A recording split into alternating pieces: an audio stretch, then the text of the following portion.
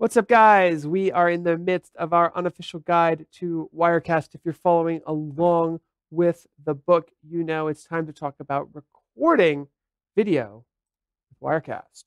So, recording video is very similar to live streaming video. It is managed in the output area and it has a slightly different recording notification inside of Wirecast, which we should take a peek at.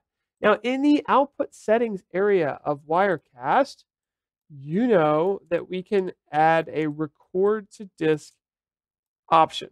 And I want to go over a couple of the different options available. We can record to disk with an MP4, which is probably the most popular way, uh, but we can also record to disk in MOV and Windows Media File. Now, when you record in MOV, you're getting ProRes, which is awesome but you are getting uh, very high file sizes. And that that can be a problem.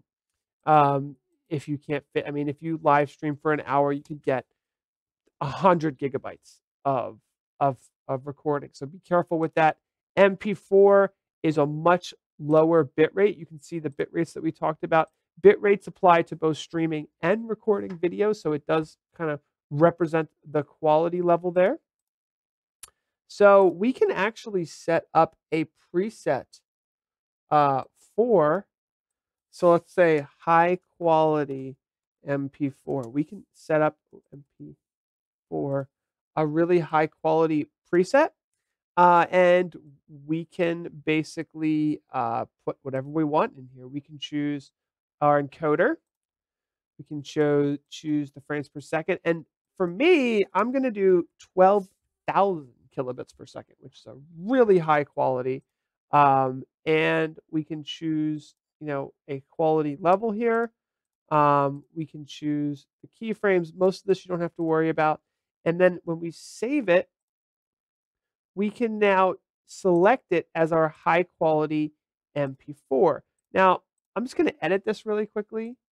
Um, and I'd like to change the name just because when you do this, you should put the bit rate. So high quality MP4, 12 megabits per second, just so if, if you need to go back, you know what you're doing.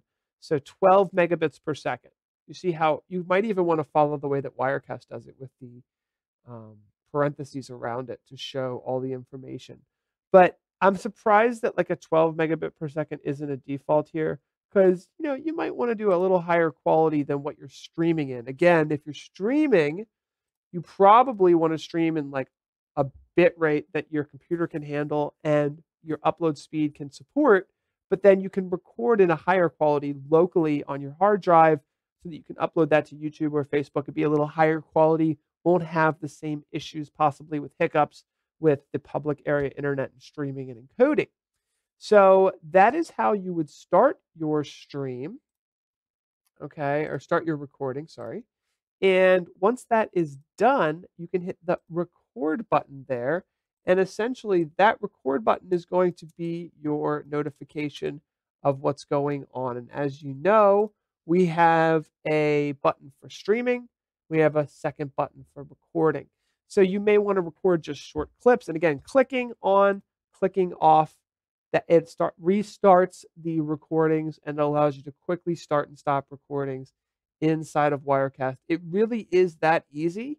Um, so we went over some of the different recording presets that you might want to set up for your recordings inside of Wirecast and why you might want to record and stream at the same time with Wirecast. That's kind of why there's two different notification buttons there.